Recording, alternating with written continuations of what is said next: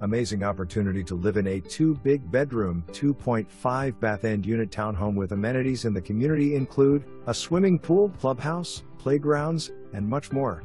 New LVP flooring, carpet, vinyl double hung windows, and freshly painted.